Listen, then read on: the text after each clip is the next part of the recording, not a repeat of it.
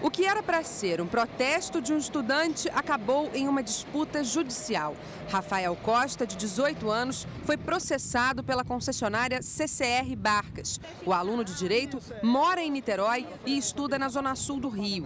Indignado com o reajuste do preço das barcas de R$ 4,50 para R$ 4,80, ele organizou pela internet uma manifestação prevista para a última terça-feira mas no dia anterior levou um susto. Descobriu que a justiça tinha concedido uma liminar proibindo o protesto e que teria de pagar sozinho uma multa de 5 milhões de reais caso a ordem fosse descumprida. A primeira reação foi um susto e depois veio aquela indignação por não acreditar que o poder público estava agindo como advogado do interesse privado. Rafael soube da ameaça de multa por telefone e logo em seguida confirmou a informação no site do Tribunal de Justiça. Ele conversou com advogados e entrou com uma ação para a derrubada da liminar. No entanto, o agravo de instrumento, dispositivo legal usado por Rafael, ainda não foi julgado. A CCR Barcas informou que a medida judicial teve o objetivo de garantir o direito de ir e vir dos usuários. Em nota, a juíza Simone Gatese, que concedeu a liminar,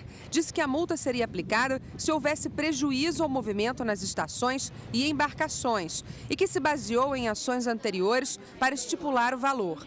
Mas Rafael diz que o protesto não iria interromper o serviço.